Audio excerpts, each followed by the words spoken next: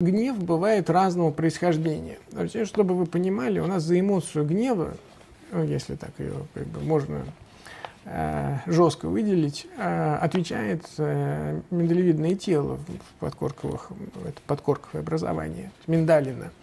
Вот. И, значит, э, это распрекрасная миндалина отвечает за страх в первую очередь. А гнев, она отвечает за него как за защиту от страха. То есть, если вы чем-то испуганы, и если вы чувствуете, вы можете даже не чувствовать э, страха, но вы могли подвергнуться ситуации, которая у вас э, нарушила ваши границы. Ну, условно говоря, вы идете, и вас кто-то толкнул, и у вас гнев. Что это такое? Значит, ну, на самом деле, просто кто-то вторгся в ваши границы, ваш мозг испугался вторжения, и после того включил оборонительную реакцию в виде гнева. Ловлюете? Значит, соответственно, это реакция защитная.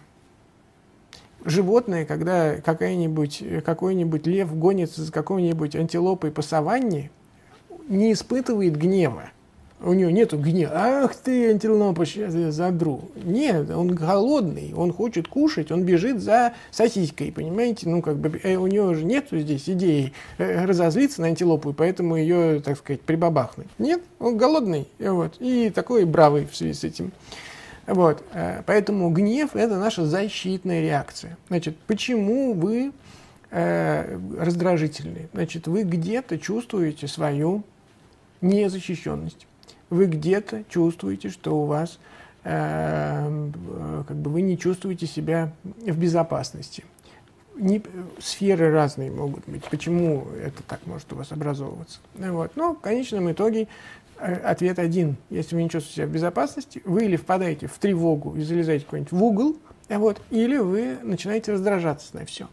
И я вам должен сказать, что э, ну, депрессия – это все думают, что они знают, что такое депрессия. На самом деле депрессия – это очень широкий, э, широкий такой пласт различных патологических эмоциональных состояний. И есть депрессивные пациенты, которые значит, все свое, э, все свое, э, все, все их депрессивное состояние обуславливается, по большому счету, проявляется одной лишь раздражительностью. То есть вот просто человек раздражитель. Постоянно раздражается женщина на мужа. То несет, пятый несет, да-да-да, да-да-да, да-да-да. Потом принимает антидепрессант и вдруг перестает на нее раздражаться. Что случилось? Муж поменяли? Нет. Использовали антидепрессанты, которые помогли справиться с депрессивным состоянием.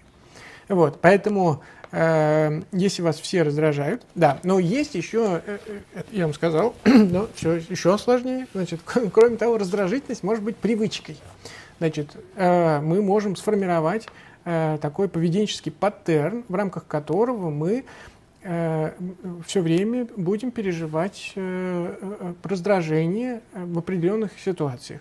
Значит, ну вот, например, есть люди, которых раздражают тупые люди. Вот. И они умно все время значит, бьются в припадки и говорят, боже, все эти идиоты. Вот. Ну, как бы ну, да, может быть, не все слишком умны, ну, вот, но в связи с чем ты раздражаешься? Ты хочешь, чтобы они как-то вдруг стали поумнели все? Ну, как-то это маловероятно. Что, что сделать? Какие варианты, способы решения? Вот, может быть, как-то лучше придумать, как сфункционировать, если они там, по твоему мнению, не дотягивают до какого-то состояния. Непонятно. Вот, поэтому, может быть, просто привычка. Вот. есть люди, которые э, привыкли раздражаться на что-то. Вот, вот водители, например они едут, нет, есть водители, которые едут и раздражаются, просто они всю дорогу раздражаются. Но это у них способ существования. Это не потому, что как это, они просто, вот, просто они так как бы живут насыщенной жизнью таким образом. Понимаете? И понятно, что каждый из тебя подрезали, ты можешь раздражиться. Почему? Нарушили твое пространство, испугался, будешь, а, это защита. Вот. А можно просто, эй, там вы все, я сейчас вас. Ну вот. Это что? Вот. Раздражение от вздорного характера. Потому что такое характер? Набор вздорных ну, если хороший характер, то набор хороших привычек, а если вздорный характер, то набор плохих.